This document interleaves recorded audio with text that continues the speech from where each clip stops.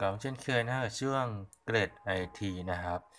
นี่เรื่องของสาวก iOS นะครับผมคือวิธีการติดตั้ง iOS 11 Beta โดยที่ไม่ต้องใช้ ID Apple Developer นะครับวิธีการติดตั้ง iOS 11 Beta โดยไม่ต้องใช้ ID ของ Developer นะครับผม ในงาน Apple Special Event หรือ WWDC 2007ทาง Apple ได้ทำการเปิดตัว iOS 11 ซึ่งเป็น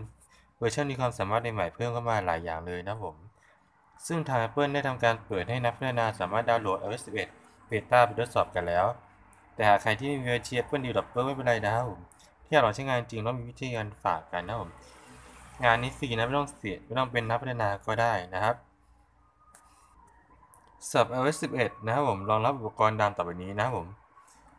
iPhone นะคือ iPhone 7 iPhone 7 Plus iPhone 6s iPhone 6s Plus iPhone 6 iPhone SE iPhone 5s นะครับ iPhone 6 6 Plus ด้วยนะครับสำหรับ iPad นั่นคือ iPad Pro รุ่น 12.9 นิ้ว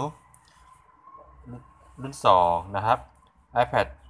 Pro รุ่น 12.9 นิ้ว รุ่น 1 iPad Pro รุ่น 10.5 นิ้ว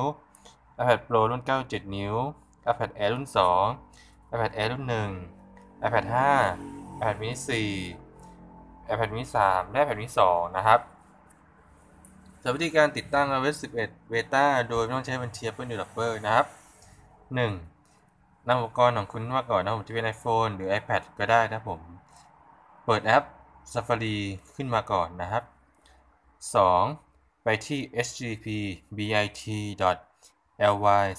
2 r m o h a u นะครับ หน้าเว็บจะทำการ redirect และจะมีหน้าต่างแจ้งเตือนให้ติดตั้ง iOS Beta Software Profile นะครับ แต่เลิก install มันก็จะเปลี่ยนหน้ามายัง Message from Apple Inc. นะครับให้เราแต่ install และ install อีกครั้งหนึ่งนะครับจะมีหน้าต่าง